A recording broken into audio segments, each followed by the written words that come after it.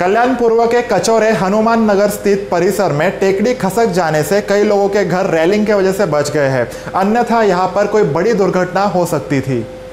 मागील पाच वर्षापूर्वीपासून स्थानिक नगरसेविका रेखा चौधरी यांनी या ठिकाणी हनुमान टेकडी हनुमान नगरमध्ये जी काही वसाहत आहे कुष्ठ वसाहत त्याच्यावरती ही जी टेकडी आहे तर हनुमान नगर वरती जी टेकडी आपण धोकादायक बघितले ते दगड तर मागच्या वेळेस आम्ही अधिकाऱ्यांशी संपर्क करून आयुक्तांशी भेटून तातडीने या ठिकाणी जी आपण आता बीम बघत आहोत त्या बीममुळे इथं आपण आता ही घरं सुरक्षित झालेली आहेत.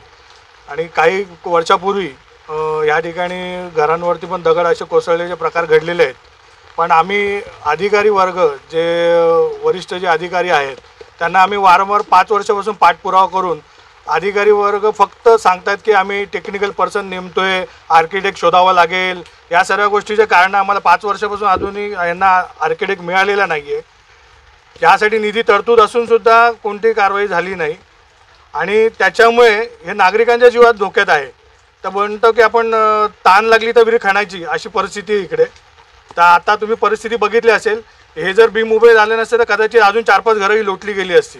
ही बिकट परिस्थिती आहे. आता तरी अधिकारी वर्गाने डोळे उघडावे आणि तातडीने उपाययोजना राबवून इथं कायमस्वरूपी कारवाई करावी. आणि आता इकडचे जे नागरिक राहत होते तर अधिकारी मॅडम इकडचे वॉर्ड ऑफिसर आणि इकडचे स्थानिक गावकरी यांनी आता ते तात्पुरतं आता त्यांच्या नातेवाईकांच्या घरी आता त्यांना स्थलांतरित केलेलं आहे. त्यांची खाण्याची वगैरे जेवणाची व्यवस्था केलेली आहे.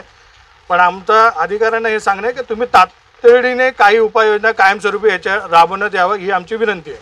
मान्य आयुक्त महोदय यांचे यापूर्वीच दिलेले निर्देश होते की दरड वगैरे काय अशा ठिकाणी कोसळणारा भाग आहे तो तात्काळ नोटीस द्या त्यांना स्थलांतरित करा. आणि त्याप्रमाणे आपण कारवाई पण वेळेवर केलेली आहे. नोटिसा दिलेल्या आहेत दोन वेळा नागरिकांना. त्यांना स्थलांतरितही केलेलं आहे. एक आत्ता मध्ये दोन चार दिवसापूर्वी एक दरड अशीच कोसळली होती. तर त्यावेळेस आणखीन काळजी घेण्याकरता नागरिकांना सर्व नागरिकांना सूचित करण्यात आलं की ह्यापासून तुम्ही लोक सगळे सावध राहा आणि सगळ्यांना जे पाच कुटुंब त्या दगडाच्या आसपास आहेत त्या सगळ्या कुटुंबांना आपण स्थलांतरित केलेलं आहे. आणि स्थलांतरित करून त्यांना राधाकृष्ण मंदिरामध्ये त्यांची खाण्याची सोय वगैरे सगळी महापालिकेमार्फत प्रशासनामार्फत करण्यात आलेली आहे. कोणार्क अपना शहर अपनी बातें.